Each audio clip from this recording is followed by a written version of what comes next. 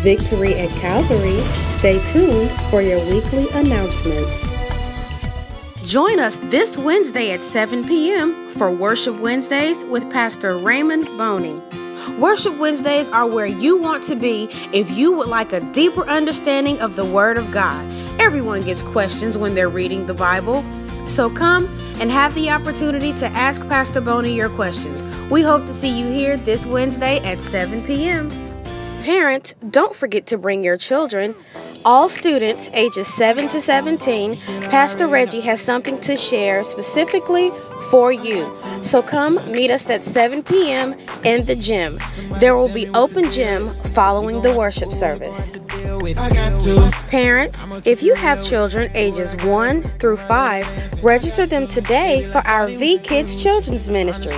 The V Kids Children's Ministry meets first, second, and third Sundays during 11 a.m. services. For more information, please see Sister Rashina Spivey.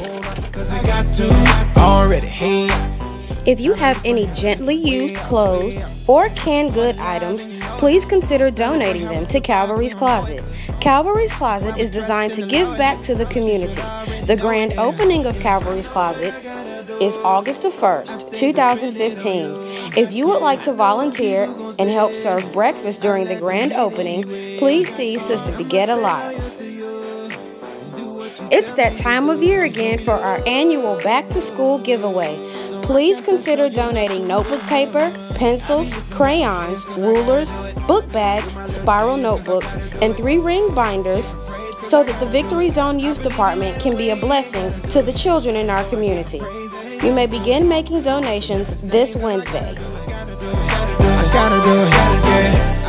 Don't forget, stop by the V store in the rear of the sanctuary for a light refreshment today. Thank you for taking the time to worship with us. Invite someone to come with you next week.